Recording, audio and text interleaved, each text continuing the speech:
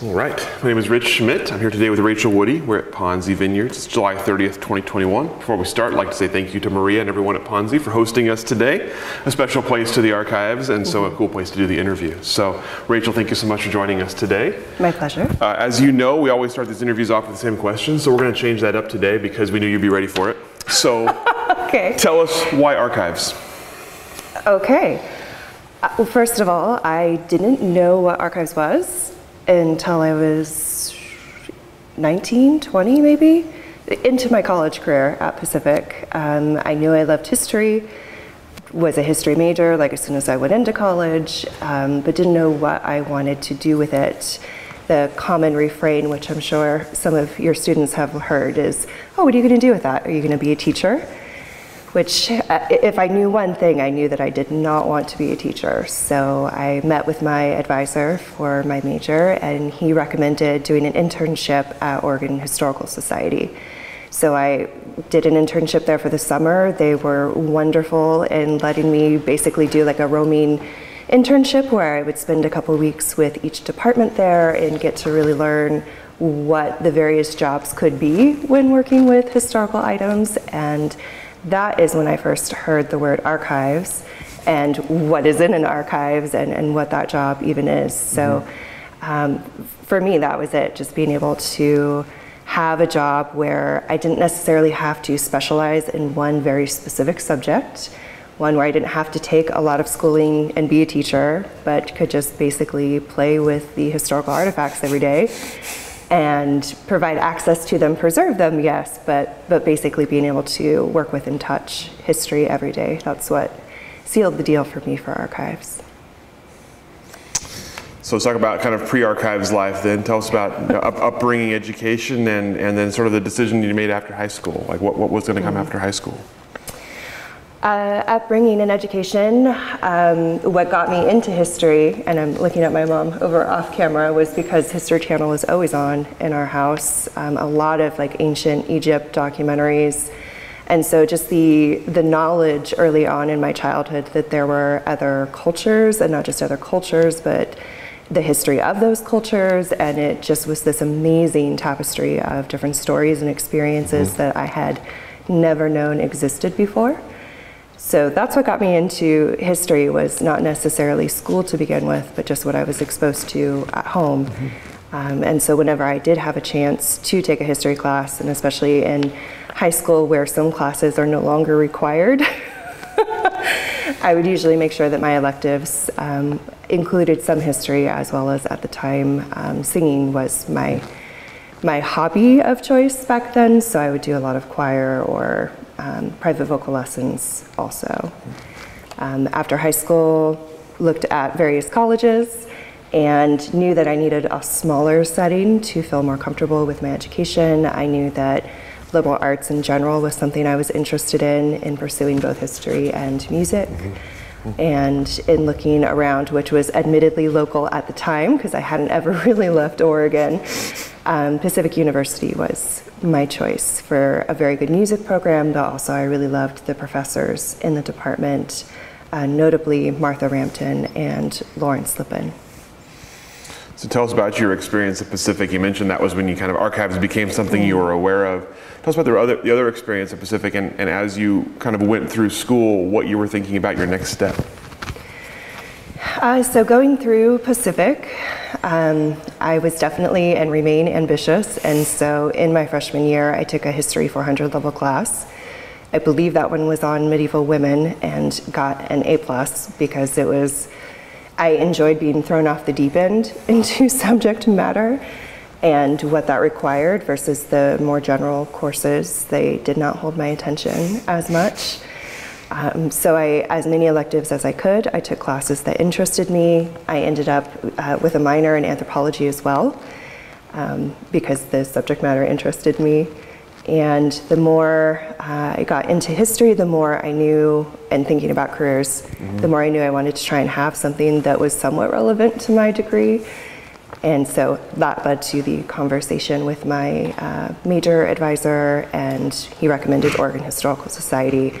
And so at that point, that was between my junior and senior year, And so my senior year, I spent applying to graduate schools and, well, first of all, researching graduate schools that even offered archives management, um, which is still fairly hard to find. It's usually housed within a public history or uh, library information science uh, master's program. So since I had the history degree, I went ahead and pursued the information science aspect. Mm-hmm. Um, which also offered a concentration in archives management at Simmons what is now university. Seems to be a running theme in schools. You are, are at changing changing their names to university. Right. So tell us about that experience at Simmons. You mentioned it's kind of a hard hard thing to find. Now now you're, mm-hmm. you're first time away from home and you're in graduate program. Tell us about that experience and as you went through it, as it, again as it kind of shaped you, what you hoped to do after you graduated. Okay, so so grad school was hard. Um, and it wasn't necessarily that the subject matter was hard, but um, being somebody in a particular academic class where I still had to work almost full time to also support myself still through schooling, um, having to do that level of work and then that level of coursework mm-hmm. Um, was just like logistically challenging. Uh, also, the fact that it required several courses that were very library science heavy which is, it does not interest me at all. So those classes were particularly hard to um, feel motivated to get through.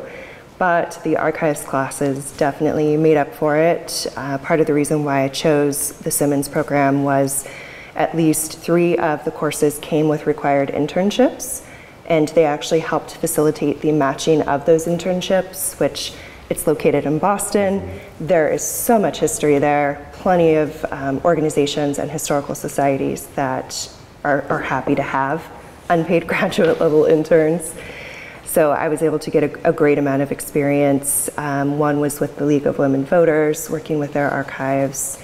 Um, I also worked at Harvard in the Fogg Art Museum with their archives. And then I was able to do an internship back home for the summer at Pacific, um, which at the time they were starting to get their archives going. So for each of those instances, now that I think about it, each of them, the archives existed, but like it didn't really have any organization yet in terms of like actual staff and people who are paying attention to it. So um, now that I think about it like that, that is definitely a running theme where I find myself in places that haven't really started yet. but that's what makes it interesting.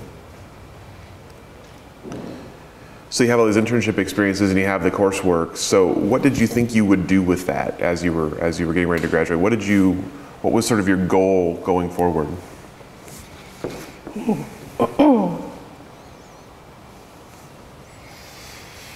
at the time, my personality type, knowing that my master's was coming to an end, that whole last semester I started applying for jobs ahead of time, um, which apparently was great foresight on my part because that was right before 2008.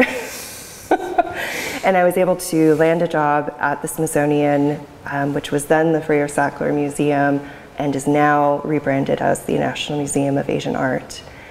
Um, so I was able to interview for a job and uh, accept it before I had even technically graduated, which was amazing. Um, and at that time, I think my my mentality was mostly just like, please let me get a job, especially getting out of graduate school, which comes with a very hefty price tag and student loans.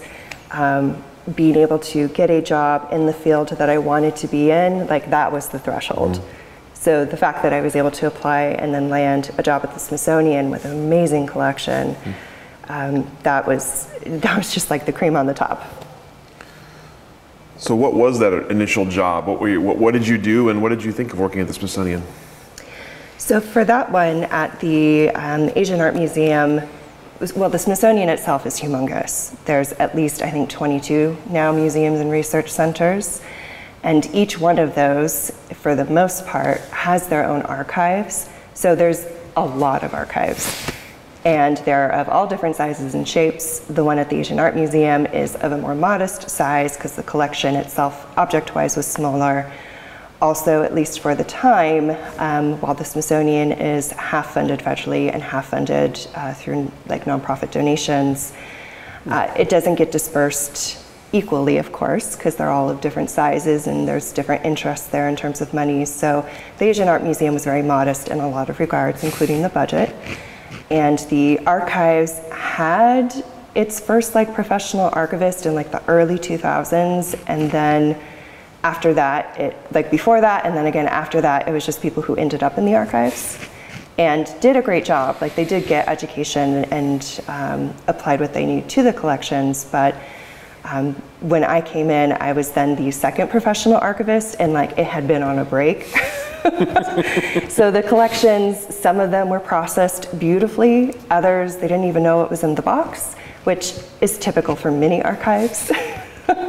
so that's not to disparage them at all, but it meant that while I wasn't necessarily starting the archives from scratch, it definitely needed like a re you know, emergence or like fresh start kind of thing. Like mm-hmm. a lot of people didn't know it was there. Mm-hmm. Some of them, the staff at the museum, um, other archives, like peer archives from across the Smithsonian Institution, didn't really know what was in there, what we were doing. So that allowed me a lot of um, freedom and encouragement, really, to make something out of it and make it more accessible. Um, make sure people knew what was in it. So we played around. We started the Smithsonian Collections blog, which I edited for the first year across all of the archives. I also started the October October's American Archives Month Archives Fair program that they did um, now annually in October.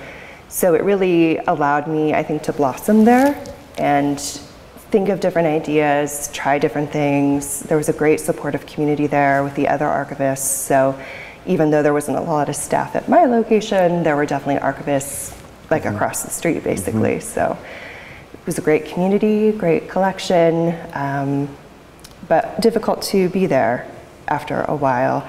Difficult to be in DC to like even put roots down. It's a very transitory city. Uh, it's expensive. um, I was also on the East Coast where none of my or my husband's family was located, so every vacation was traveling to see a family person. Um, and the and some of the bureaucracy there, it did get to the point at my location there that after four years, I had pushed the program as far as I could. I kept running into increasing resistance the better I did, which is especially as a young adult, like flabbergasting in terms of like, I am doing a good job. We are getting good press. I am bringing in grant money. What's the problem? Which now in my much older, wiser age, I realized probably had a lot more to do with them and their egos versus what I was accomplishing there. So it was time to move on after a while. Before we get to the next step in the process, tell me about some of uh, either favorite accomplishments or favorite memories from your time there. Several. um, so there's a carousel on the National Mall and if you're a Smithsonian employee, all you have to do is flash your badge and you can get a free ride on the carousel. And I can't tell you how many times I rode that carousel, um, especially in the summers. It was just um, a really nice break and a, a bit of whimsy uh, to break up your day. Uh, also, the Smithsonian, there are tunnels underneath the National Mall, and our museum was definitely connected to several of them. So got to explore underneath the mall. Um, there's a cafe down there. It's a very sad looking cafe, but but because nobody else can get to it, it you know obviously it has an aura of mystery about it. So um, that was fun. Um, there's a fossil cafe in the Natural History Museum that's like so 70s, and they may have already redone it by now, but that was like my favorite cafe. Um, so definitely the the places and the collections and some of the people hmm. I definitely miss. But yeah, it was just those um, those cool moments of being in that location and being with those collections that I remember most fondly. Mm-hmm.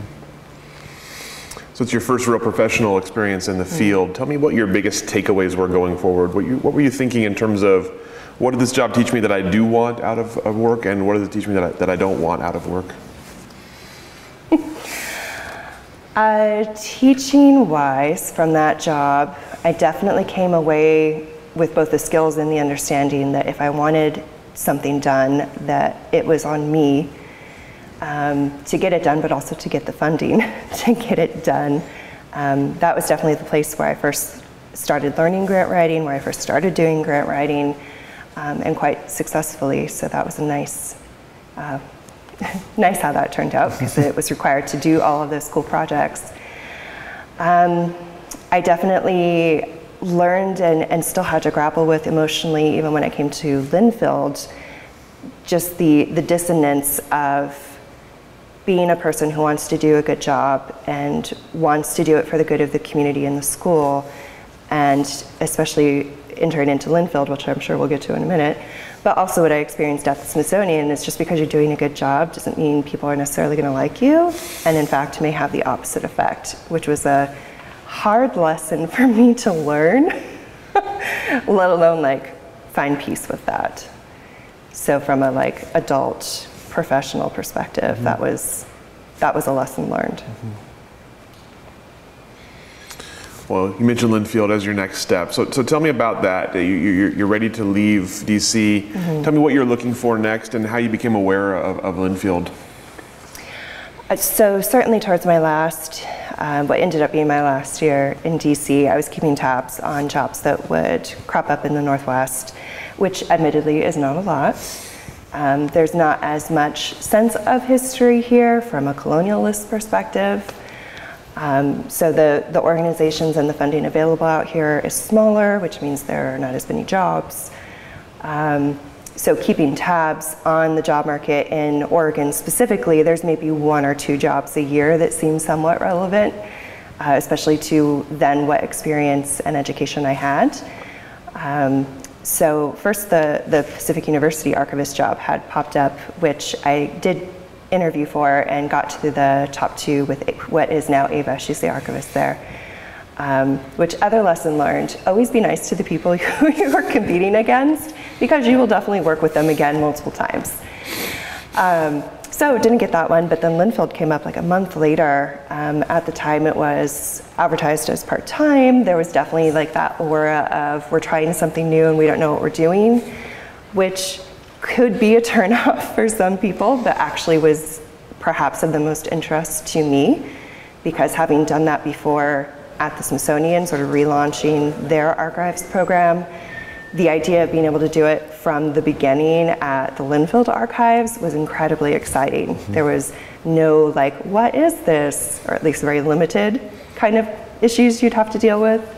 Um, grant writing was most definitely going to be required for the position, so that was definitely something I found out I was very good at. Mm-hmm. Um, as well, of course, as being able to work not only with a community of students um, and mentoring, which I discovered at the Smithsonian, I really enjoyed, um, but also being able to work with the wine community. And while wine in and of itself is lovely, and I do enjoy it, the industry out here in Oregon, as you are all aware, is uniquely different from wine industries or you know luxury beverage industries anywhere. So the fact that we would be able to capture that, especially at such a crucial stage where you know older generations, we were already losing some, mm-hmm. needed to document the history.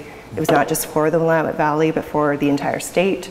So just the, the enormity of the mandate and the freedom and opportunity for all of that was all very attractive, which was enough for me to be like, I can totally do this part time because I know within a year I will be able to prove that like this should actually be full time, mm-hmm.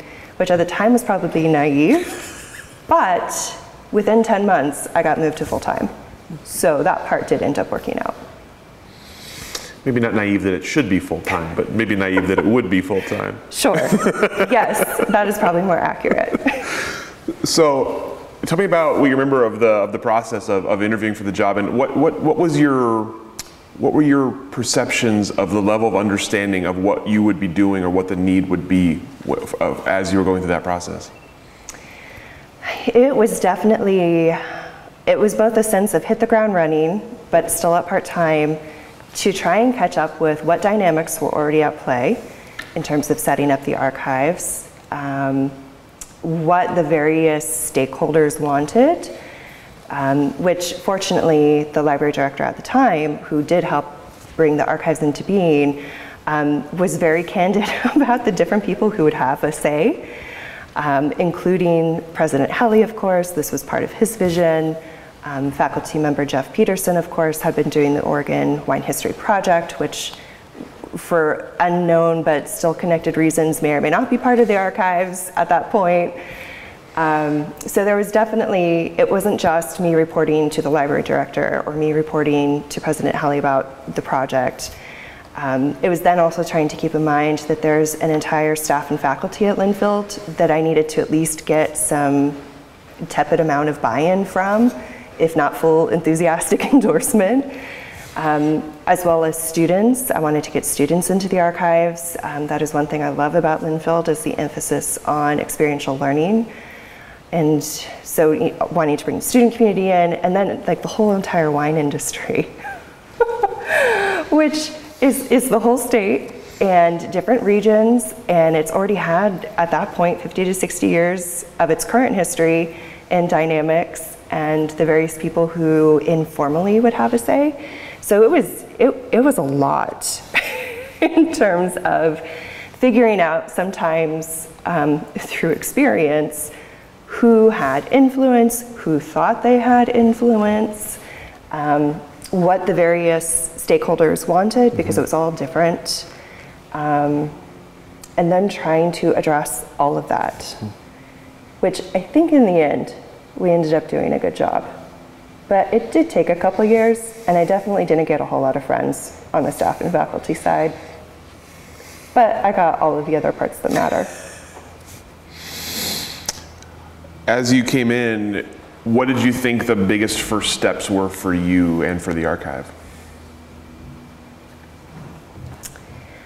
Well, it had a physical space, so that was nice that that was done. Shelving, climate control, even a few supplies. Um, but it didn't have, at least for the wine archive part, it didn't actually have any collections yet. So going and getting the collections, which I then found out actually needed to be like an educational tour first. because while this idea had been talked about with the wine industry, it was not talked about with anybody who knew anything about archives. And so the, the understanding of what was needed, when, why, how, like all of that, I realized belatedly just had like never been communicated to them. Mm-hmm. So it, it, did end up being a tour of which one was coming and speaking with Maria. She was one of the 1st mm-hmm. here at Ponzi that um, Susan and I came out to have those initial conversations with.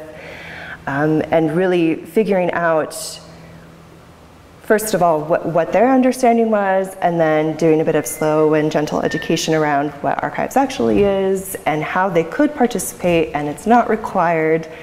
Um, and then I think by that, like close to the end of year one, is when I figured out finally that oral history interviews was probably the easiest and most effective way to document the history immediately and also be something that would be an asset to those people who do those interviews because of course not only does that help them document their legacy at a certain point in time but it's also something that they can use for raising brand awareness um, something that can help when they do transitions whether it's generational transition or being bought by a different winery transition so the the interview serving as like a multi-purpose multi-benefit asset for everyone involved um, quickly became like the go-to hey let's at least interview you mm-hmm. and get you on the record mm-hmm. if you have items great if you want to give them to us we've got space if you don't that's fine too mm-hmm. because now what we're learning and as with archivists who work with many communities that are still alive and present that is their stuff so you can't just come in and take their stuff, especially when it's like a family history. And for a lot of the wineries, it's like a small business feeling. So a lot of the materials they have are incredibly personal, even though they also happen to document the wine industry. So the idea of being able to do digital surrogacy, so taking a digital image and then publishing online and they get to keep their stuff, um, seemed like a much better strategy to have and I am somewhat pleased to see is being adopted by a lot of archives now across the country. Mm-hmm. So was your understanding then that that as the archives program was getting started, that the Oregon Wine History Archive part of it was the, the key, the most important part, the, the, your first priority? Depending on who you ask, um, there would be different answers in terms of priority. Um, overall, and certainly the public priority, was the wine archives. Um, that was what President Hellie wanted. They, that's how they got buy-in from the wine industry, though that didn't come with any money at the time. Um, however, in order to try and foster goodwill and in general be a good archivist, the fact that the archives was housed in the college at the time, now university, it's still there physically, you need to still also collect that organization's history. And so I don't think that was technically communicated as part of my job at first. That was certainly the undertone I got, especially from some of my direct report people. So I tried to do both. Um, the wine history part, of course, is the, the more glamorous perception one, and so that usually generated the more interest. So we would certainly make sure we spent a lot of time working on that. But for the remaining time, we also tried to do the same thing for Linfield's history, especially for our college, where I think by the time we were both hired, had already celebrated its sesquicentennial, its 150 years. So the fact that they didn't have any sort of archives concept or even like a feeling like maybe we should have this, as an archivist, like I just could not. Um, so very, very quickly, unfortunately, I was allowed, I had the freedom to spend time on both because I think we were doing a good job at both. Mm-hmm. Mm-hmm. So with that kind of challenge, let's talk about, the, before we get to, back to the wine archive, let's talk about the Linfield part of things. You mentioned 150 plus years old at this point already. And certainly things have been preserved through history, but not in any kind of sort of regimented uh, mm-hmm. way. What was the biggest challenge for you then as you were as you were on campus now and you and there is a program? What was the biggest challenge for you in, the, in, terms of getting that started? Was it was it letting people know that you were there? Was it finding materials? What, what was the biggest step to get a Linfield side of the archives off the ground?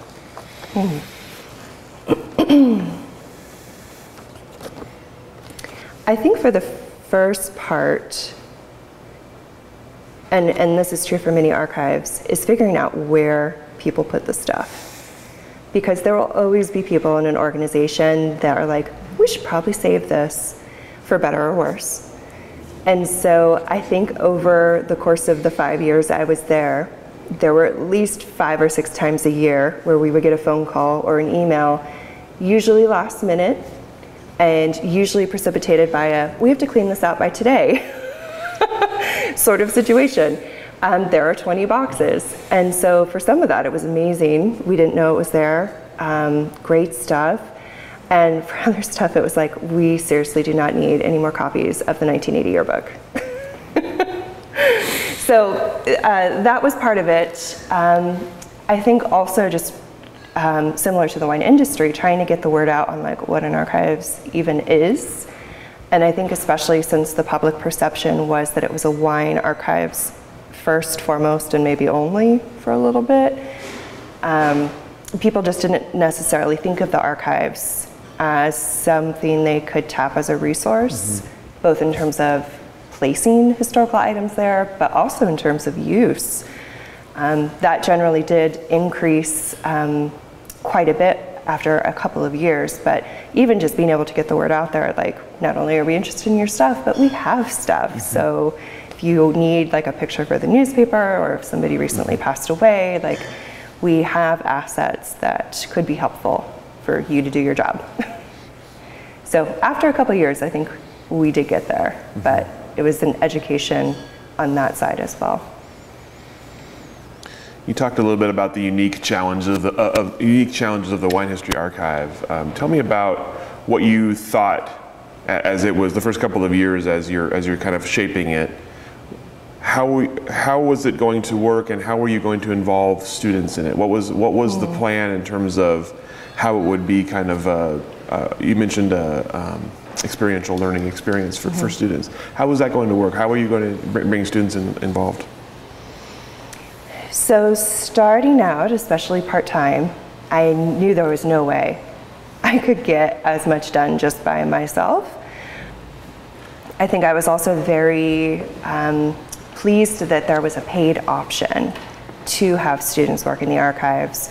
Previously at the Smithsonian, even though it's humongous and there's probably money somewhere, they just don't pay interns, or at least they didn't when I was there, um, which bothered me from an ethical perspective and still does.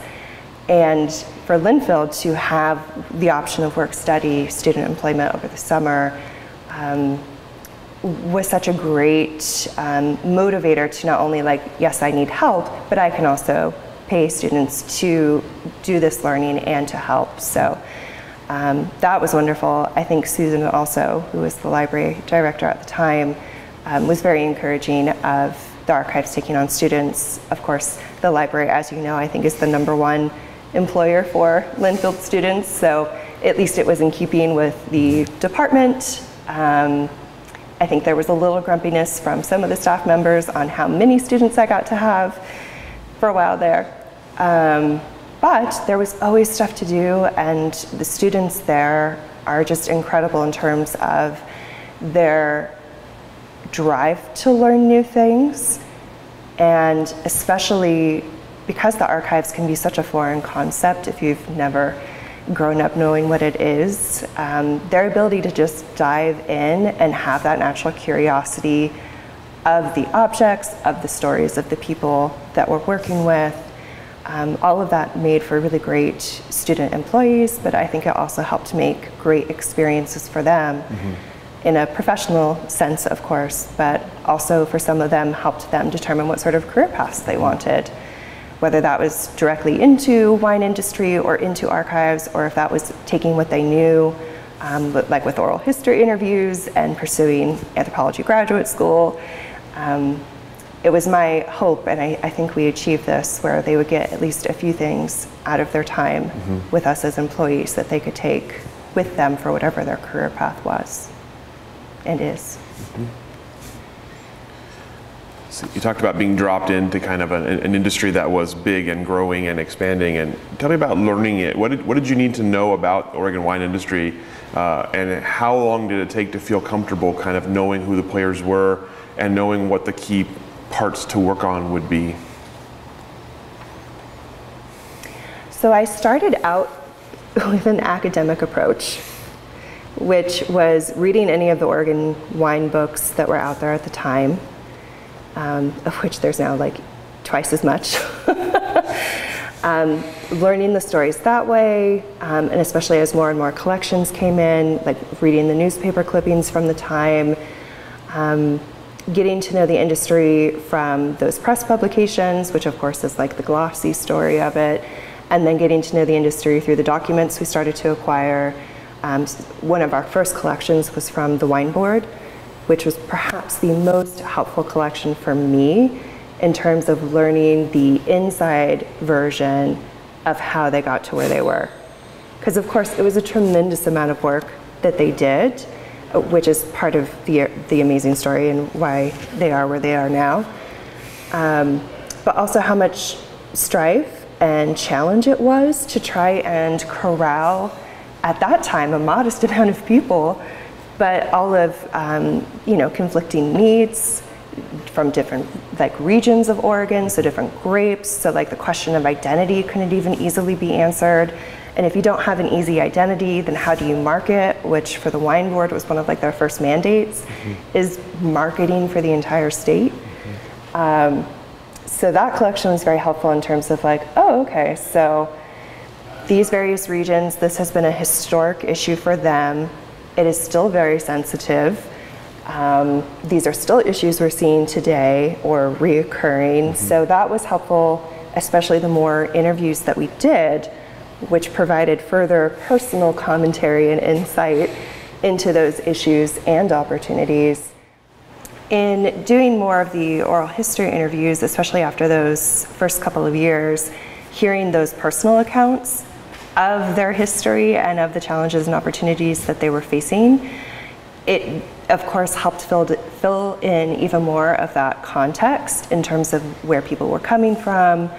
Um, as you can imagine, for some of those issues, people had very strong opinions on how it should be run. And it was at such a critical point in time for them to like help protect agricultural land, to help make sure that their um, wines were of a certain purity level so that they would be, you know, be valuable and taste good and not ruin the rest of the perception of the industry. Like these were all critical um, elements to have at a point in time where they were establishing themselves as an industry and what they would be known for even now. Mm-hmm.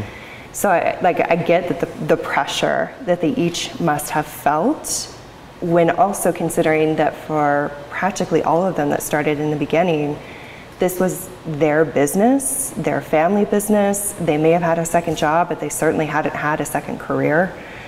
Um, so it was make or break for them and their families too. So some of the decisions being made at the industry level would have significant impact at the individual and family levels. So um, having that context of just how critical it was and why it was not easy and why some of those things are still being discussed and debated today, that was perhaps after seeing the documents and reading the stories, like hearing each person's story. Mm-hmm. If I had to do it all over again and I already had all those pieces available to me, I would have started with oral history interviews and probably only the oral history interviews um, coming in. So So uh, the when you decided that oral history interviews as a, as a kind of the most valuable part of, of gathering the story as it's being done, mm-hmm. tell me about getting that started. Obviously, there's, there's a lot that goes into an oral history interview that goes on before and after this, the actual conversation. So tell me about planning out how the process was going to work and, and figuring out who to talk to. um, I laugh because you asking that. Um, we it's been so long and we've done so many that I forget how hard and how much thought went into it to begin with.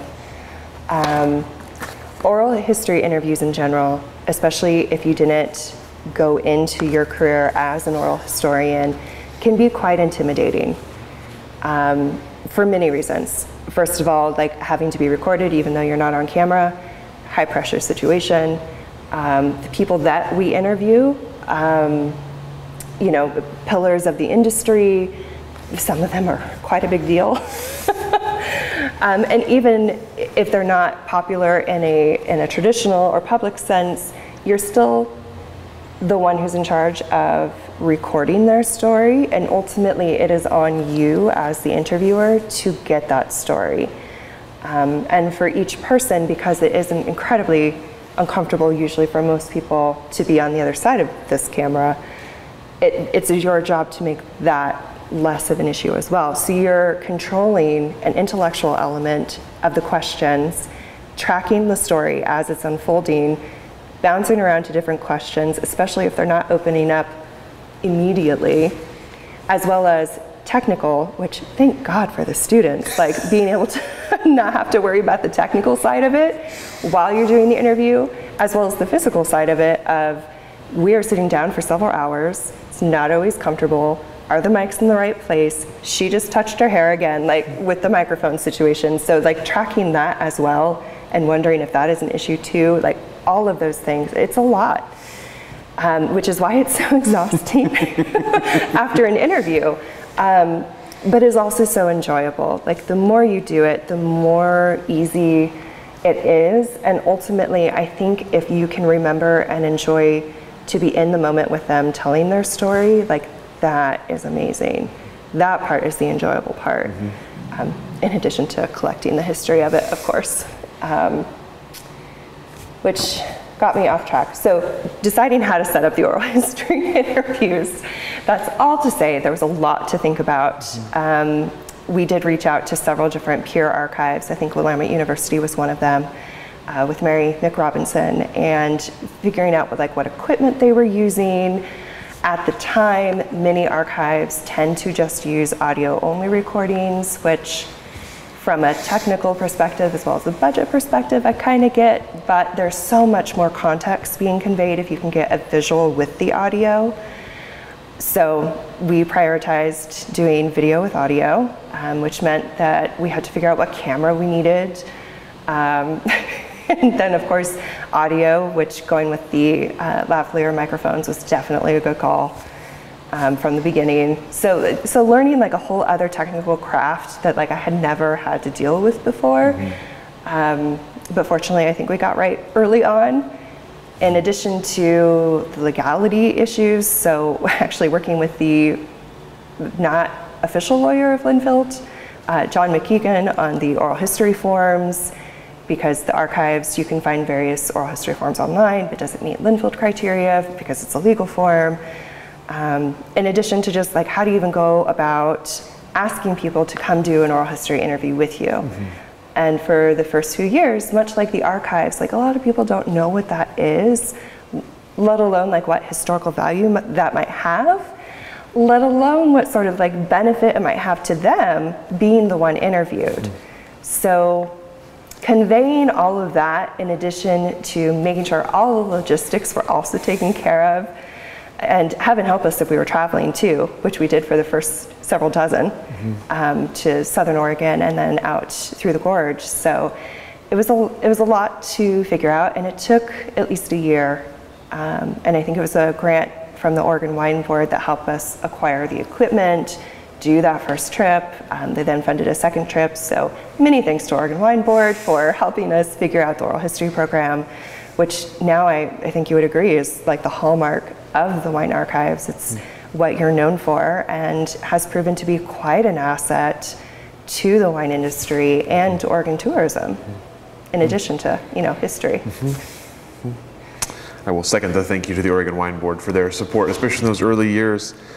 Uh, you, you talked about the trips, so tell me about the, that. The, that. That was the first real foray into oral history back in 2013.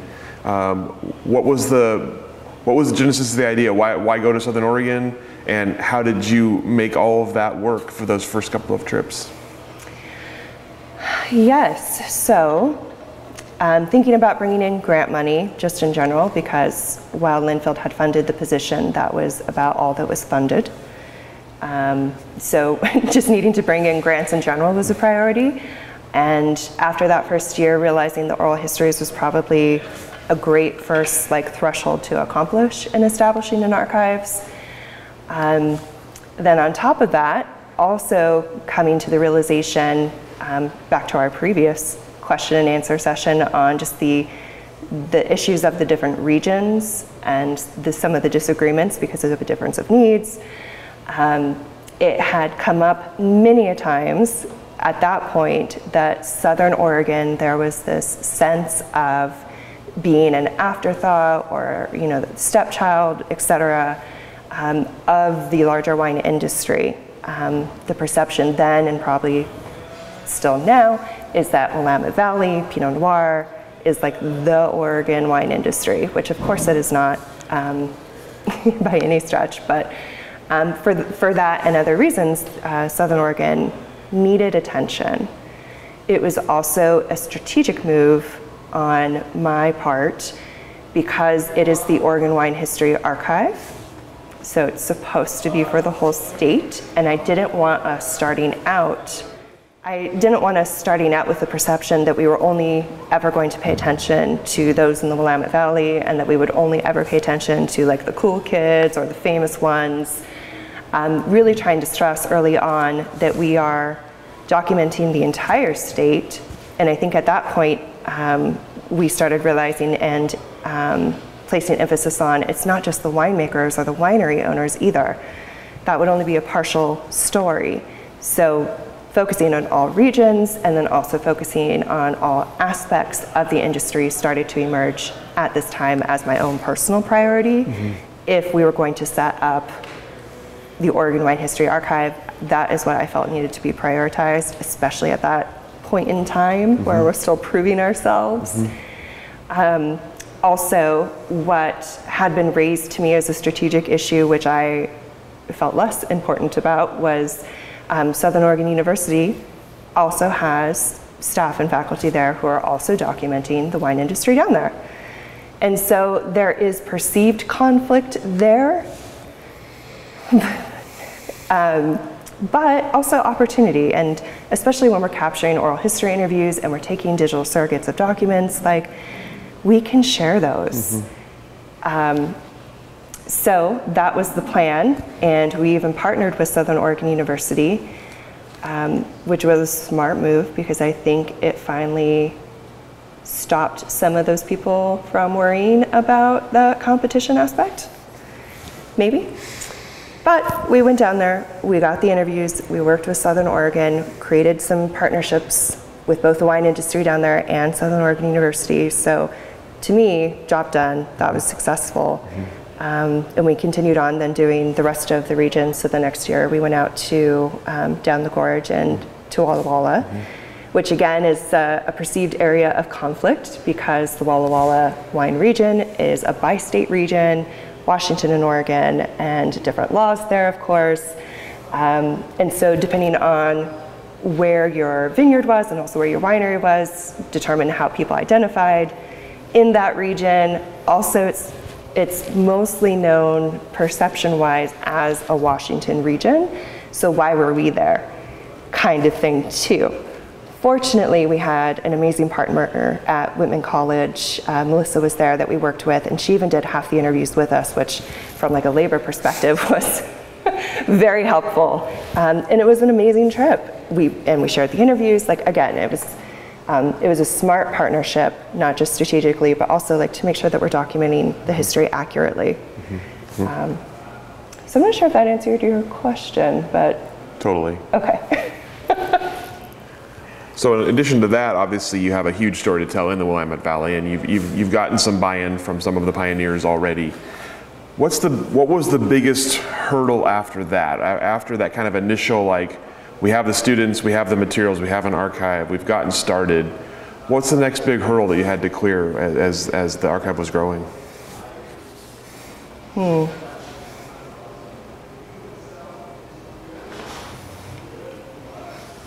I think at that point, for me, and especially once you were able to join the archives and the students got going and the students were able to finally train new students, like we had so many processes in motion at that point, and the reputation had developed to a point um, where we didn't need to put as much energy into those things. And so for me, it's it's always the what's next. Like now that we've solved that problem or scenario, what's next? And because things hadn't been resolved, at least between me and a lot of the staff and faculty on campus, the opportunities that may be available to somebody who's not me in growing that archives was probably much different. Um, that's when it started getting difficult in terms of thinking of new ideas, thinking of doing new platforms, um, doing different projects, working with students differently. Uh, Teaching curriculum kept getting brought up and then not because whole question and, and issue around faculty versus not faculty, let alone compensation. Um, things started getting frustrating for me at that point. So as much as I did love the collections and the job, the students, my coworker, um, it got to a point where I couldn't do new things and continue to be successful in new things. And so, um, it, it, as we found out, didn't work for me. Before that happened, um, how, how did you know? How did you feel the archives was, was working? Did you feel like you had been successful in the things you wanted to do? For me personally, I measured success in a couple different ways.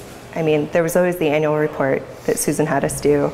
So there, you know, there's the, the quantifiable with the numbers, how many interviews, how many people watched the interviews, how many students did we hire, how much money did we get. Like, those are good benchmarks. And we always, it, from my opinion, kicked ass in those areas. Like, not a problem. Mm-hmm. For me, though, from, for personal success and satisfaction in what we were doing, was are the students happy and thriving? Are they safe and supported in this environment? Are they learning new things? Are they excited and figuring out how that applies to what their life looks like post Linfield? So, student, um, how, how they are doing was one of those. Um, how are we doing in the industry? What is our perception Um, what are we providing them? What's the reputation that comes from our work? And so after several years, I felt like we were in a really good place. We were going to the Oregon Wine Symposium. People were expecting us to be in industry places, events, and meetings because they perceived us at that point as part of the industry, which, depending on who you ask in different perspectives, may or may not be true. But being a partner in this project, I think that perception is incredibly important. I think that's why people continue to give us their time, space, and resources to help document this industry.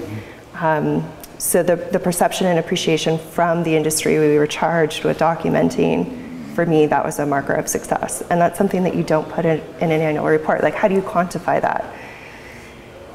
So I think those were the two important areas to me since we already, like, we were bringing in money, students were working, collections were coming in, like those were checked off easily. Mm-hmm. But are the students happy and thriving? And does the community, the wine community specifically, mm-hmm. view us as their equal partners? Mm-hmm. And I think that they did and do. You mentioned that I, that I came on board here at some point along the way, and, and I remember our conversations about um, the challenge of starting with, at the sort of starting at the beginning and at the top with the biggest names in the industry and trying to take it forward. So I'm curious about strategies that were developed at that point to make everyone aware that the archives was for everyone in every mm-hmm. conceivable way. Mm-hmm. How did how did it grow at that point? How did you how did we get past that initial like after the initial hurdle of, of Pioneer Archive, Yamhill County, basically Willamette Valley families that have been here for 50 years. How did, how did, the, how did we get to the next step? Well, the hardest part is to get started. and so there were the easy ones we were supposed to interview, as informed by other people who were in the archives, um, which was super fun. Uh, and so, and so we started with some of the obvious ones, some of the ones who had been involved in getting the archive set up to begin with, Susan Sokol Blosser, Dick Erath, the Ponzis, of course, David Adelsheim, like Myron Redford and Vikki Wetle, like many of whom were just so generous of spirit and time and continue to be just lovely people. Um, so I ended up, one of my default modes is brutal honesty which for the most part works out for me. Um, and so my approach with them, um, especially because they were so kind and lovely, was we are having a challenge here getting people to like return my calls, return my emails, like participate in this process because they don't know what's going on. They don't know who the heck we are. Like, especially in those first few years, it was really difficult. So getting them to recommend like, okay, who else should we interview? Mm-hmm. Can we use your name? Um, and even having at some point um, Betty O'Brien, that woman is a saint. Like she, for a couple of them, was like, you need to go talk to the Oregon Wine History Archives. So those peer referrals mm-hmm. definitely helped us get over that hump. And then, of course, the more people that you interview, the, the more awareness there is to the project, first of all. Um, the more they started going online and people putting them on their Instagram and Facebook, the more it's like, well, why am I not being interviewed? So then it became like a FOMO thing, like, you know, am I? And, and then we ran into, am I important enough to be interviewed? So then we started running into like imposter or, you know, what have you, sort of hesitancy, mm-hmm. in which I know you and I both had to spend a lot of time in person, phone, and email, being like, no, really. we do want to interview you. And the more interviews we got from non winery owners and winemakers, I think the easier that got for us as well in terms of like, we just interviewed a cooper at a cooperage, like, or a wine label maker or what have you, like, your story is important mm-hmm. too. Mm-hmm. So that, so then that part got easier. Um, so I think between sort of like the grassroots efforts, the, the asking for help, um, the, the more you do, the more people see it. I think all of those things eventually snowballed mm-hmm. into where now it is not as hard to nail people down for an interview. Um, people are volunteering, which is great. Less work for you to do logistically, like, um, it, so it, I think over a couple of years it, it quickly picked up pace. Um, but the first year or two was certainly difficult. I think we did maybe a couple dozen interviews a year those first two years, and then it was like 100. And like you did, was it almost 200 the other year? Or over 100. Yeah, So- and a crazy amount when you actually like figure out how many work days there are in a year. so yes, it was a, a multi-pronged approach. On that note, was there a was there a tipping point for you in terms of uh, awareness and this archives in general, or the Oregon History Archive specifically at, at Linfield? A tipping point for you at which you felt that awareness had sort of been reached, like we were, like we, the the hard work of of letting people know that we existed and why we existed and what we wanted to do had gotten easier and, and more hmm. more people were aware than not? I think after the third year, going into the fourth, um, certainly when we went to the wine symposium and had like what the five minutes or whatever they could fit us into the lunchtime schedule, um, being able just to make that statement to like the entire industry in the room, I think was a good point in time where I felt at that point most of them already did know, and if they didn't now, they do. Um, and at that point, we had also just finished up the 2014 tour of the gorge through Walla Walla. So we could technically say we had been to almost all of the regions at that point because Snake River Valley. Um, at the time, we hadn't gotten yet. Um, but we could at least say, like, yes, this archive is representative of the entire state. We have more than just winemakers or winery owners now. Um, the Phil DeVito collection, I think, was one of those great first collections that came in that was not of a traditional like winemaker, wine owner sense. And it was such a great collection to bring out because of Phil's connection to like almost everybody in the industry. They knew who he was. And it was such an entirely different collection of historical information because his was on the, the restaurant side in the Portland restaurant scene and being one of the first um, restaurant owners in the industry that would like prioritize and bring in great Oregon wine for their menus. So for so many reasons, I think that was also like a, a point in time where it's like, yes, okay, this collection is rounding out. Like we're doing a good job. We talked earlier about the interview process, and it feels very meta to talk about the interview process during during an interview between two people who do interviews. But you mentioned that it wasn't really your background; it wasn't really necessarily your interest coming into archive work. Um, tell me about that process for you of, of learning how to do it and, and learning um, what the important parts were and, and of learning to enjoy it. Uh, how, how long did it take to feel like you were good at it, and how long did it take to feel like you were enjoying it and that it was worthwhile? Okay. Uh, so they didn't teach it in my graduate school. Um, of course, working in archives, like it's usually one of those like, oh, there, someone's at some point did some oral histories that are on cassette tape. We don't know what's on them. Like, it, so like they're in the archives, but they were never really a focus, at least educationally, of like being a part of the record. Um, so it wasn't until the Smithsonian and at my museum, there were a couple people who had worked there for like 20, 30 years who were retiring like all at the same time. And so it was this critical, like, oh my God, you need to do an oral history interview. You're the archivist. Um, and fortunately, having a vast network of peers across the different museums, there was a trained oral historian at the main Smithsonian archives. And so I cannot remember her name, but she was wonderful in taking time, letting me use her equipment, going through the process of how to put together an oral history interview, first of all, because as you know, there's research, how to develop a set of questions, let alone like the technical and like actually doing the interview.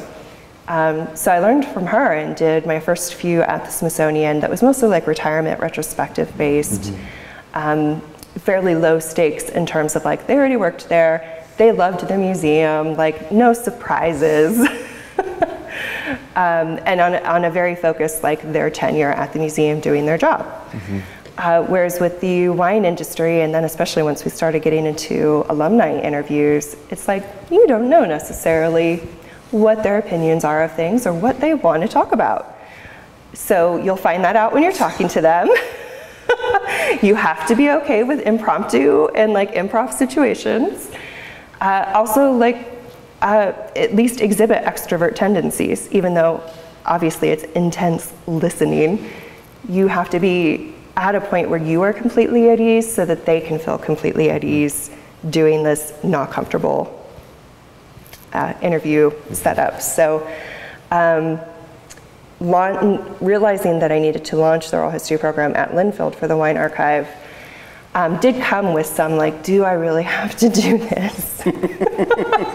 Because it's not incredibly comfortable yet, and it is going to take a lot of work.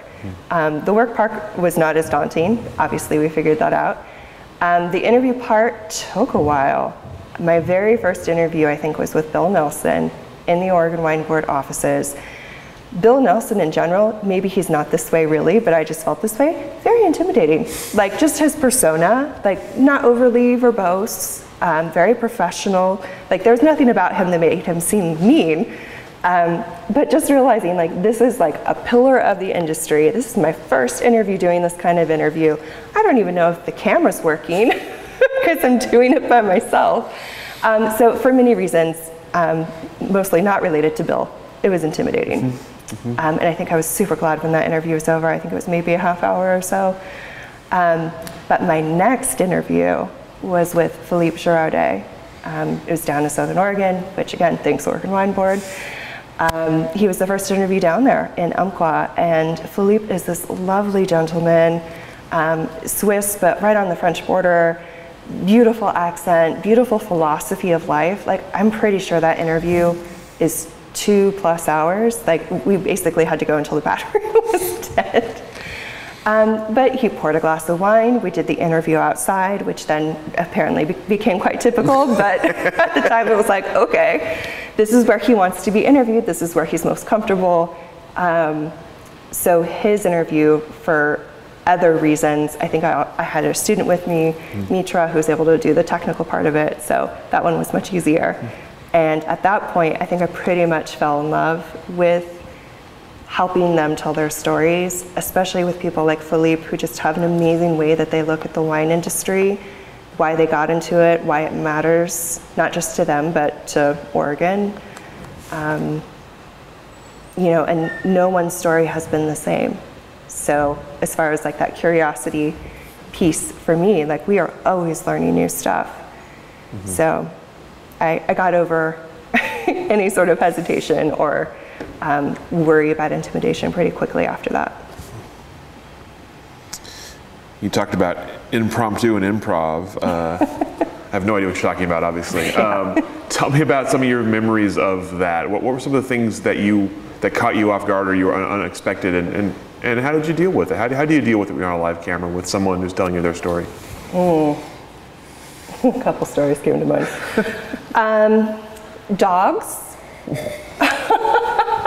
so many dogs. and, and with, like, obviously we are animal lovers here, um, but trying to like gently pet the dog and not have the tripod fall over and also like hopefully not have them bark. um, so happy problems there. Um, there was definitely a point in time where there was a technical issue um, for one of the trips, I had asked the student at the time to download after every night because we, we were doing two interviews a day, filled, filled up the memory card, et cetera. Um, and she thought she had that night, but then it turns out it didn't actually, but we had already deleted on the camera. Yeah, so there was definitely some people freaking out. I, I don't think I was one of them. But we did have to inter interrupt Melissa, who was doing an interview with that same discard, to be like, I'm sorry, not to freak you out right now, but let's pause. We need to see your camera for a second. And we had to, um, fortunately, Toby was on that trip, my husband, um, and who can fix anything. And so he was able to retrieve the interviews from that day. Thank God. You know, it would have been a huge deal if not. Like, you just interview him again. But um, that was one of the like, okay, not only do we need to try and fix this, but we also have to inter or interrupt an interview in progress to go get that thing before she tapes over it. So, um, so technical issue. Um, emotions. Obviously, when people are telling their stories, it's very personal. Um, and you experience the emotions with them anywhere from like joy, bittersweet happiness, extreme tragedy, anger, even. Like, I think we've experienced all of those throughout the various interviews. And for us, doing the interview, it's not about policing the emotions, like, that's part of their story, but we do need to feel it and be in it with them. Um, in order for them to feel comfortable telling that part of the story. And so for some of that, there's tears, and I, I, am an easy crier, so like if anybody starts crying, I am crying too. Um, and knowing when to allow space for that on the camera, per se, and knowing when that person needs to take a break. Mm-hmm. And either way, being completely okay with whatever that person needs. Mm-hmm. So it's a bit of trying to anticipate that. For some people, they want to try and like fight through and like and stay focused. And for other people, it's like we, we need to take five minutes just have a cry, both of us. uh, which is why I think for so many, you know, once we do those interviews with them, like we are bonded for life. You know, and it, it's why I think when things later happen to them, like some of them passing away, impacts us so deeply. Uh, you know, I think people tell us things in these interviews that they may have never told anybody else in their lives. So that is such a an honor to have and is so deeply impactful. Mm-hmm. Mm-hmm. I like it into a series of very intense first dates where you just like learn everything about a person in like an hour and a half. Yeah. And then you're bonded for life, like you that, said. That is such a great way to look at it. It's like the opposite of speed, like the opposite of speed dating. Right, very intensive. Tell me your whole life story. No judgment. It's a safe space. Also, we're recording it because it's weird. So you mentioned that it was it was time to move on from Linfield. Before we get on to the next step of, of your of your career, let's talk about looking back, either as you left or looking back from now. What did you feel like your biggest successes were at Linfield? And the students, for sure. Uh, the students themselves as individuals, but I think also the program that we built there for the students who continue to work there.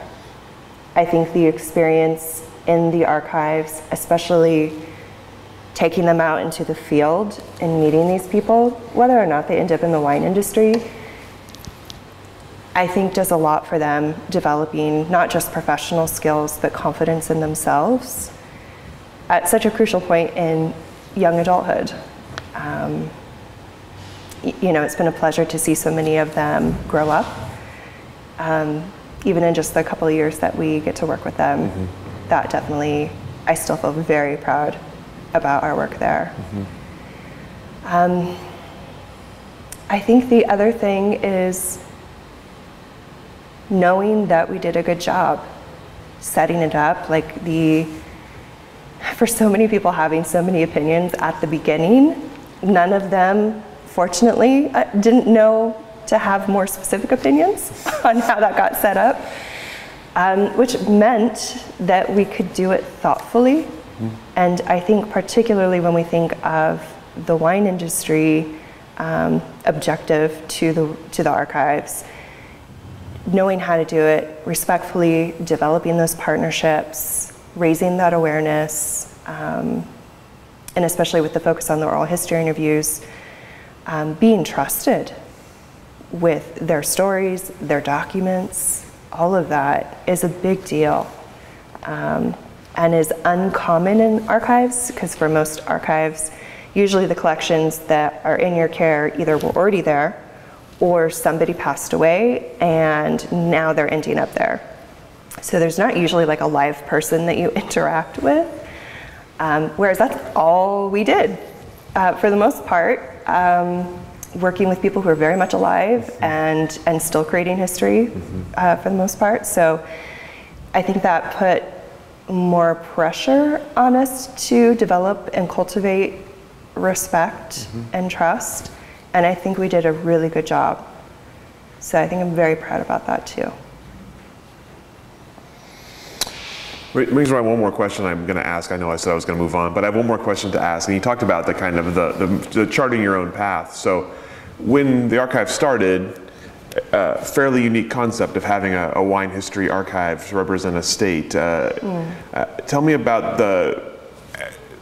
There was a goal in mind when the archive started that, that Tom Hellie had had, that, that Susan Sokol-Blosser had had, Jeff Peterson had had. There was a goal in mind. When you felt like you reached that goal, how did we chart that path uh, next? What, what, how did we decide what the priorities were? Uh, and how did you decide what the program would look like without really a, a template to draw from? That's apparently where I do my best work. um, the, the goals in mind initially, from those outside perspectives, uh, was collect the stuff, bring the stuff in, like where are the boxes? Like there was an unusual amount of focus for people who don't really know what archives are, to bring in stuff for the archives. and especially when working with people, like for, for some of those initial founders, some of them had retired, others very much have still not retired. so they're, they're still maybe using their stuff or, or not ready to let their stuff go. Or maybe the kids might still need their stuff because the kids just took over. Like there, there were a lot of logistical things we had to navigate with this industry who's still very much alive. Um, so we brought in as much stuff as we could for the people who were ready. And then for the rest, it was just a when you're ready, we're here kind of mm-hmm. approach, which is all we can do. um, and after a while, and I think especially once we really started getting moving with oral history interviews and we were bringing in grants for students to do amazing work. I think that took the pressure off of where's the stuff because we're at least still doing stuff. and, and using the students in a, a, great experiential learning environment. And so we're still hitting like the Linfield mission, mm-hmm. um, still working with the wine industry. So it was still like checking those boxes for those people who were um, keeping score on that. Um, and it, it, got to a point where I did have to have a couple conversations with a few of them about the fact that the mandate that was handed is a statewide mandate and what that means. And also, if you are saying that you're documenting wine history, the industry for the entire state, that means more than just the owners and the winemakers. There's so much more, especially the older and more sophisticated this industry gets. Mm-hmm. Um, so it took, I think, a little convincing for some that that was a worthwhile objective to have. Mm-hmm. Um, I think there was some concern about us spending time and resources on not as important people from whatever judging metric was being used, but I think we were able to do it anyway and prove the point.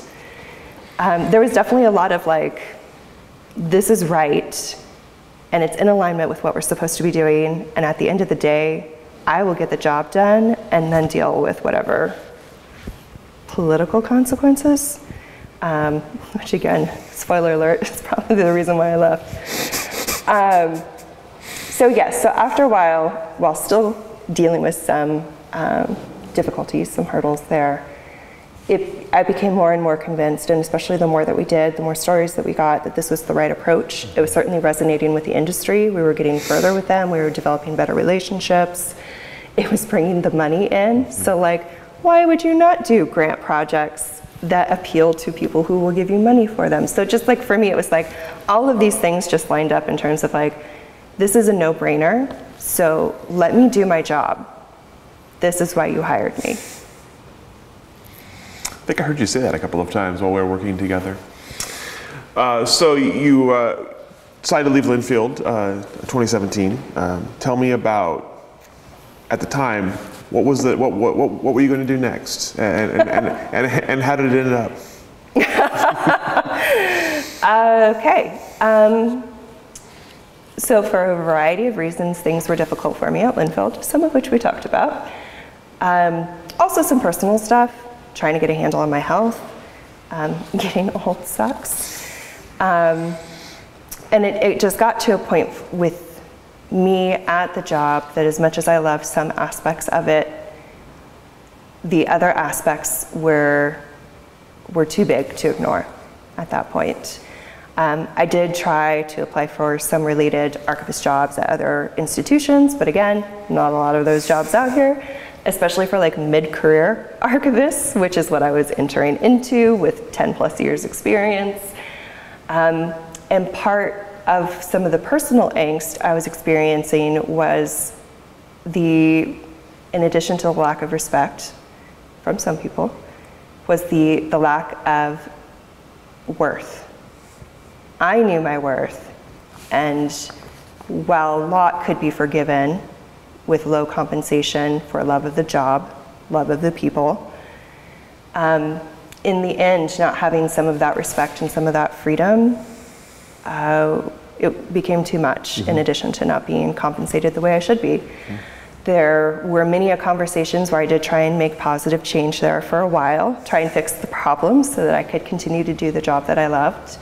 Um, several things were asked of me during that process that were highly unethical. Um, and so through that, I decided I needed a break. I took a health leave, which ironically at the time, um, the person in charge of the human resources department was probably like the worst person during that entire experience, um, which is sad for Linfield and sad for her, definitely sad for me, but it's the reason why I quit, which I think turned out to be a good thing, so I guess thank you. Um, and, and I didn't have a, a job after that, which um, I think says a lot about why I left mm-hmm. to the people who are still there. Uh, for a couple months, took a break, applied for like adjacent jobs in nonprofits. Um, always got really far in interviews, but in the end, it was like, "But you've been an archivist for 10 years, so like, what do we do with that?" was sort of the the sentiment. Um, and because the field is so small, a lot of people know each other's business. Um, and people had been paying attention to what I was posting on LinkedIn, which is a platform that I have always engaged with heavily. Um, and so they started sending work my way. So, like, um, Willamette Falls Heritage Foundation was my very first client. They had called City of Portland to say, we needed, we need a consulting archivist, like, can you help us out? And so at that time, the people that I know there was like, well, Rachael's available. and it just sort of went from there. I mean, at first it was like, well, no reason to say no. Like, I'm not doing anything right now. Like, I'd love to go play with the collection. Um, and after that project, I loved it so much that I ended up setting up a website just to like, we'll see where this goes. and fortunately, Toby, uh, my partner, has an IT job, had an IT job. Um, fun story for that later. Um, but fortunately made enough money and we had made financial decisions where we would be okay with just one salary for a while. So I had had the luxury of a spousal subsidy to figure my stuff out. Um, and within six months to a year, I got up to a full client load. Turns out I'm really good at this. and enjoy it. Like the so getting back to like the figuring stuff out and the learning, like the whole business side of it, like never took a business class. Really like it. I'm doing really well, like mental health perspective wise, being in charge of actually everything, who I work with, how people treat me, how I let people treat me, um, my value. So like so many of like my hot points that ended up being um, deal breakers for my previous two jobs, like I was in charge of that now. Um, and getting paid my worth and being respected and doing amazing projects with people who actually want to do that work makes such a difference. uh, so that's what happened. Mm-hmm. What are some of the some of your favorite projects you've worked on as, a, as an independent consultant? Hmm. They're like all my favorite children. um, I have had a, a long-term relationship with Astoria Public Library. Um, they were one of my first clients in that first year or two, and throughout the various grants that we've been able to land, we've been able to continue that work with a collection that is one of the oldest on the West Coast. Um, and, and for them, it, it, was very much a typical archives in the basement situation of, we don't really know what's down here, let's do something with it. Um, so being able to work with the library director there, the city historian there, who are both amazing people, um, bringing in grants. We, we, were able to bring in an IMLS grant for this most recent round. Um, getting stuff online, getting it so that people can actually use it. Um, all of that exciting stuff is probably up there in the top 10 mm-hmm. in terms of great work and being able to work with them long term. What are the biggest challenges for you now as an, as, a, as an independent? You talked about all the benefits. Uh, what are the biggest challenges for you, and what are the biggest challenges for you in terms of letting people know what you what you can mm. do and, and how you can do it? Yep. Uh, challenge wise, at least getting started, and then especially with COVID having happened, from that mental perspective, trusting myself to be able to do a good enough job to survive business wise um, has been a, a, great lesson learned, um, but obviously was challenging. Like, fear is natural. Uh, running your own business is hard. Not many succeed in the first few years, especially in a field that's so specialized. Um, so knowing the stats and doing it anyway and trusting myself to figure it out. Mm-hmm. Definitely a hardship explaining and educating what I do, um, which for any archives that's difficult when you're trying to explain what archives is and why it's important and then what your job is with those things. Um, and especially starting out as a business, I think for many new business people, the impulse is to offer anything. Mm-hmm. What do you need? I'll do it. Like, need the money, need the clients. However, the more I've gotten into it um, and the more specialized I have committed to, like digital collections management, who knew? Um, pretty big market out there for that kind of work, especially after COVID. Um, so that's the majority of my projects now. But um, narrowing that down and again, trusting yourself and becoming more specialized has ended up helping that because the people who end up finding me already know what a digital collections management system is because they know they need me. So there's already some um, filtering out, I guess, of the people who end up finding me already know they need me. Mm-hmm. Like they, they already know what is happening, know what they need, and know that they need someone to help them do it. Mm-hmm. So that has helped. But it has definitely been an education over these last few years, especially when you're like creating your website, trying to create like a directory listing, like how do I distill what it is that I do enough where like if nobody knows what I do, that they would be convinced that they should hire me. Like that's a big ask. Mm-hmm. so I don't know if I've nailed it yet, but it has gotten easier. You mentioned COVID in 2020, obviously uh, a huge, uh, huge something, something huge to deal with for all of us, uh, especially someone owning your own business, who traveling around and working with collections. So, so tell me about 2020 and, and sort of immediate, immediate impact on, on you, and what sort of pivots did you make last year, and what and what did you notice? What did you notice was needed that was different than, than had previously been needed? What what changed last year for what people were asking of you? Yeah, so obviously, COVID for the United States started being a real thing in March. Um, that's usually when my conference season starts picking up. Like the very first one is usually spring break. And so it was this spectacular domino of conferences and clients that I was supposed to travel to, like between March and July. I think I had at least five trips already scheduled, like already like tickets booked and everything and just the not just like cancellations, but then also like continual postponements. So like one of my Delta Airlines tickets, I changed eight times. Like we had to spend an hour and a half with customer service at one point just to like get the credits figured out. Um, so that was hectic to say the least on that part. Um, plans changing and changing again. Um, one of the clients I finally just saw last month that I was supposed to see in April 2020 um, so yeah, spectacular like implosion of any plans mm-hmm.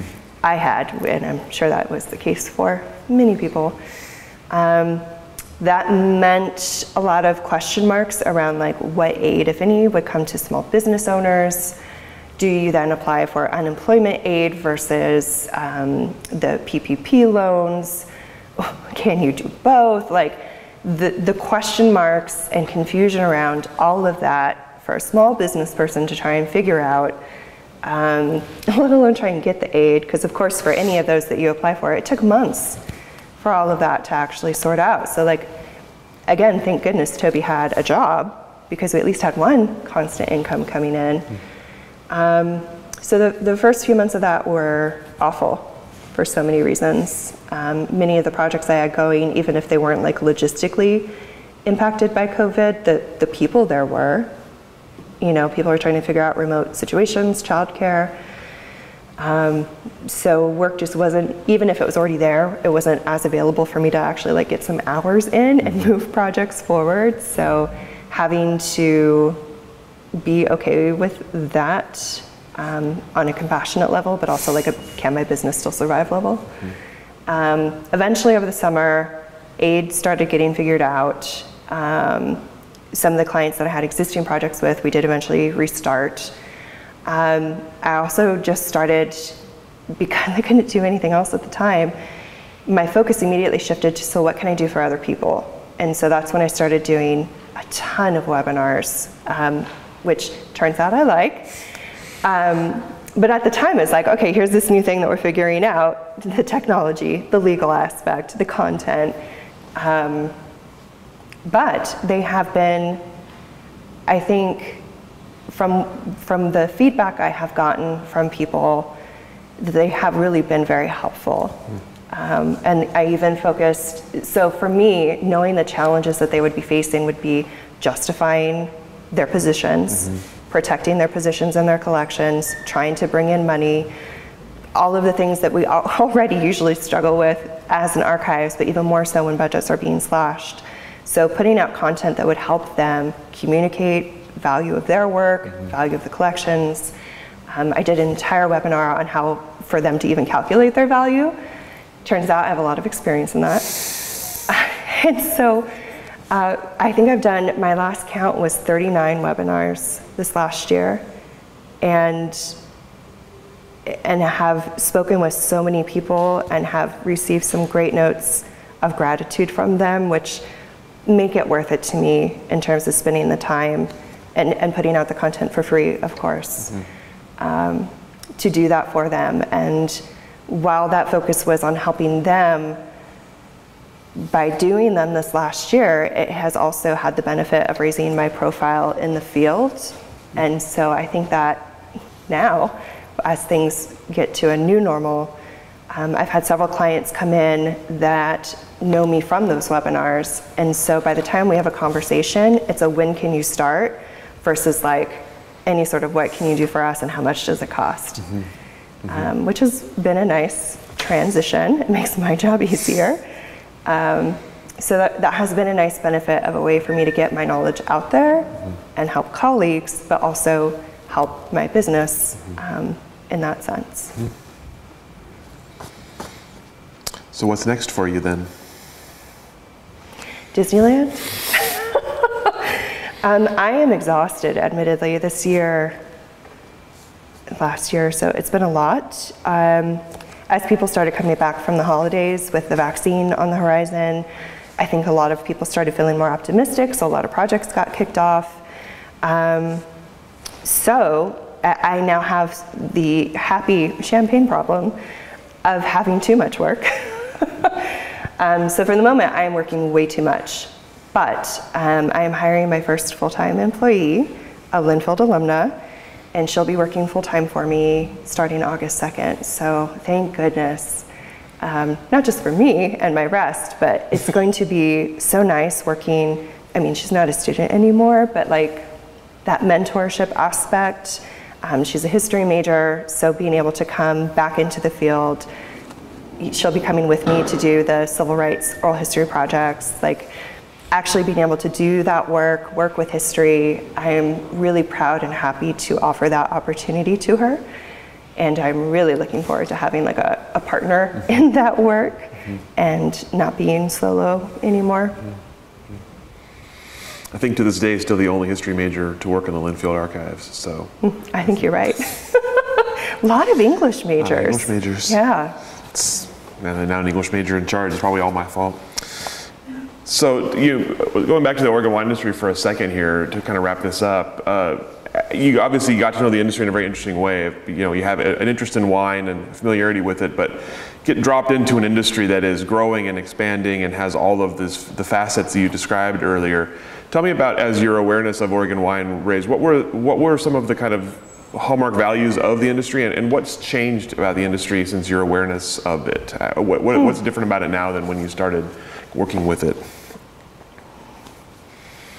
One of the things that I still think about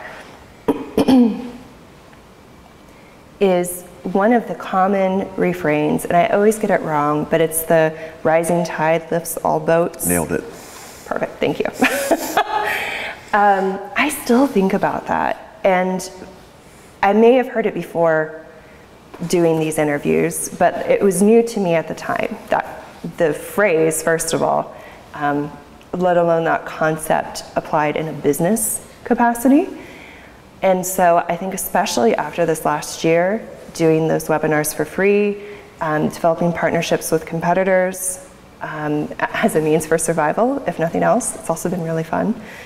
Um, I have thought about that a lot, and I have thought about the wine industry a lot this year, not just thinking of them because of the COVID hardship, but of that of that as a business strategy. Like, it is a value, obviously, and it's it is one of the hallmark values that the Oregon wine industry is known for.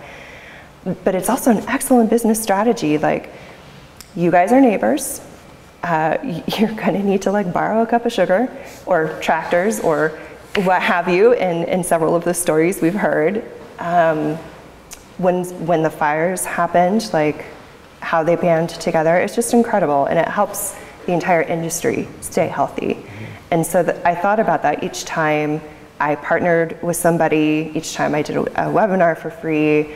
Um, because it, it, it, does help everyone. And even though for some of them they are my direct competitors, they're also incredibly smart and interesting people. And so in partnering on projects with them, it's actually led to like several paid partnerships as well, where we have been able to get creative enough to figure out how to make it work for both of us. Um, so I, I think, and I credit the wine industry each time I say yes to those opportunities or create those opportunities. Mm-hmm.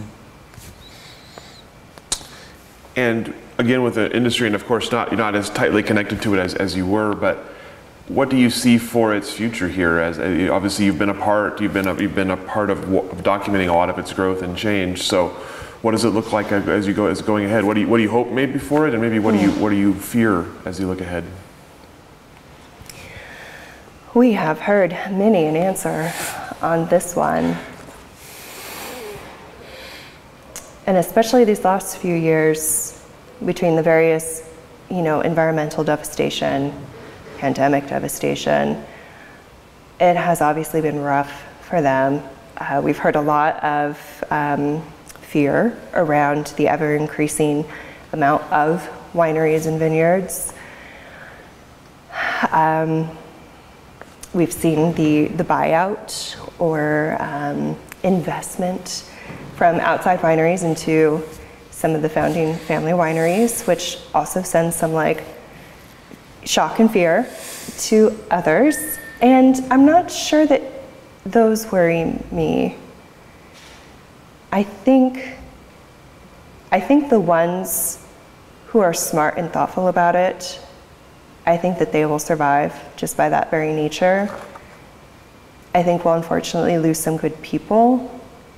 Um, but I think what worries me the most in terms of what may happen to them is all external. So, continued environmental devastation, um, whatever this pandemic is doing, because it's still not over. um, but the industry as a whole, I think, has proven itself wily enough, uh, nimble enough, even now, uh, to continue to survive in some form. Mm-hmm. All right. That's all the questions that I have for you. As you know, open forum at the end. Is there anything I didn't ask that I should have? Anything we didn't cover that we should have covered here today? I think you were incredibly thorough. Hopefully not overly so. Well, no. Um, do you have questions? I had a question. You mentioned earlier. You had mentioned earlier um, how unique the Oregon wine industry is compared to other luxury beverage industries. So, what do you think is the most unique aspect of the industry here in Oregon? Mm, just one.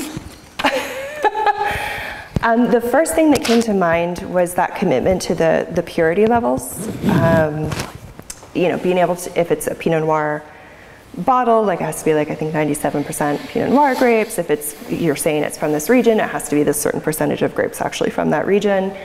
I think that has done a lot um, to keep the quality high, but to also that goes into part of how they market it. Um, that quality level is part of that brand awareness. So I, I think that attention to quality and like that that fierce um, commitment to it is is part of I think why people love them. Um, I think the especially seeing them now, a lot of the, the wineries and the tasting rooms, the focus on experience. Like, yes, the wine is good, but it's also about the experience of it. It's so much more than just the, the bottle of Pinot that you might be drinking. It's drinking it with an amazing view. It's uh, drinking it by being able to chat with the winemaker that day on, on what she was doing or, or what her thinking was behind the wine. Like there's the the experience and the context that the Oregon wine industry prioritizes and provides to its consumers, whether locally or international, I think helps set the tone for what that means, whether it's like you're drinking, you know, Erath Pinot at your counter, or if you're enjoying Ponzi's amazing winery out here in tasting room. Um, I think that's why people come here too, which like ask people who live here, it's like, oh, well, we could just go wine tasting in anytime, no big deal. But people fly here for that, um, which at least as I'm an Oregonian, born and raised, so like having it not really be known for its wine when I was growing up, it's, it's a whole new, wonderful and sort of weird thing, I think, what they've created here. And, and people will travel here to have that experience. Mm. So, does that answer your question? Okay. Mm-hmm. Um, uh, what do you want to see change for the Oregon um, Wine History Archive in general? Like, what do you want to see for its future? Ooh. Wait a minute. um, hmm. Well, first of all, I think the only, okay, I'll back up even more. Um, emotionally, it was very difficult to leave. Even though I needed to leave Linfield, it was hard, obviously. Especially when you create an archive, it's really hard to leave your baby. Um, and I think the only reason that that was even remotely easy for me was that Rich would be able to be in charge of it. Um, so that was important to me. I'm glad that is what happened especially having worked together so closely for four of the five years to get it set up. Um, knowing the quality of work, the vision, I knew it was in good hands, uh, as it has proved to be, now being almost 10 years old. So I, I think similar to the wine industry, my, my fears are external um, for what may impact it. Resources are always tight in the best of times. Linfield is going through a hard time right now resource-wise and ethics-wise. Um, and, and with the archives, like it, it's one of the few places on campus from an outside perspective that is actually healthy and still like doing its job somewhat. And so it's like, how do you keep that going when the rest of the university is very sick? Um, so that's my concern, and I, I know that there's not actually a lot other than continuing to try and do a good job and not let it impact you. Um, so yeah, my, my fears are external. My, my vision in an ideal world is that it would be funded appropriately, that you could hire as many students as you wanted, that you would have more space, more equipment, um, and of course being compensated for your worth as the students as well. So those would be my wishes for you, but I know there's only so much um, that is up to us at a certain point. So yeah, otherwise, keep doing a great job. Thank you. Anything else? Oh, come on back. I'll be quick. So kind of shooting off of that, um, in terms of the archive for the um, Oregon wine industry, as an archivist, what do you think is the greatest value that the archive provides back to the industry? record of legacy, um, while certainly at the individual level, but I think more importantly and more impactful at the as the state history, as the industry, having even just knowing that those records are there and available for research, no matter what kind of research, knowing that we have those stories, especially as people pass or move on, um, just having that the continuity of that record, recording that legacy, having access to those stories. I mean, how many people tell you that they listen to the stories as they're getting into the industry? I mean, there's just so many ways you could apply what we've gathered to marketing, business strategy, um, thoughtfulness about where you might put your vineyard, different winemaking techniques, like such a thorough archive of knowledge that you could apply in so many different ways. So yeah, sky's the limit. Absolutely. Well, thank you so much for interviewing with us. Thanks for obviously for setting up this program and, and being the reason we're all here doing this today. Um, thank you again to Maria and the team here at Ponzi for letting us use this beautiful space and come out here and enjoy this and let you off the hook All with right. minutes to spare. Thank you.